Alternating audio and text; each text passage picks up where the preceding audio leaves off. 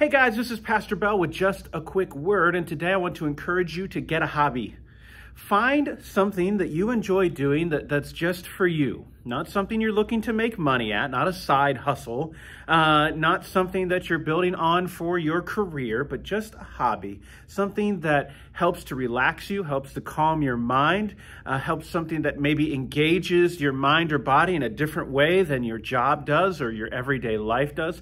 Find that hobby and enjoy it and never feel guilty for doing it. This is something I think our elders can can model for us. I know lots of people who are, let's say, over 50 um, that have hobbies, that have something they enjoy doing. Um, they have models or they have stamped collections or coin collections or, you know, they like to have little trinkets at home or they play golf or tennis or something like that. And from the outside, it can look really goofy. I mean, let's be honest, the stamp collection kind of looks ridiculous. But to that person, it's life-giving and that's, that's good. And it's okay if it looks weird to everyone else. A hobby isn't for everyone else. It's for you.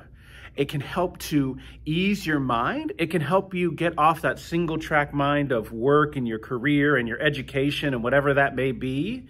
It can help engage different parts of your personality, of your body. Uh, and I think that's good for us. It's good for us emotionally and psychologically and physically uh, and spiritually as well to help us see the wide range of gifts we have that we might never get paid for or aren't our expertise, but just something we enjoy doing. For, so, for example, I play guitar. Am I good at it? Not particularly.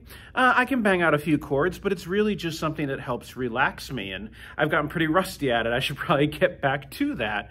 Um, I know other folks who, you know, build uh, model airplanes in their spare time or build model trains, and that may seem old fashioned, but to them, it is something that helps to clear their heads, uh, helps them to uh, come down after a very stressful day, helps them to find some peace of mind, and helps make them a, you know, a better spouse, a better parent, a better child, um, a better friend, and, and even better at their job. And I think that's the other thing too. We need need things that help us decompress because that helps with creativity.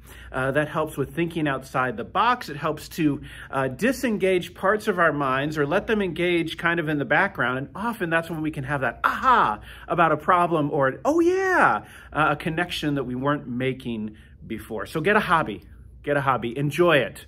Um, you know, make sure it's something you can afford and something that's doable, not something that's going to take up your whole day, but find that time to do something that's fun and relaxing for you. It's going to be better for you. It's going to be better for the people around you. And it's all part of that Sabbath that God calls us to have, that rest and joy from the everyday drudgery of, of work and whatever else. I hope you're having a wonderful week. I hope you're staying safe. God bless you, and we will see you next time. Bye now.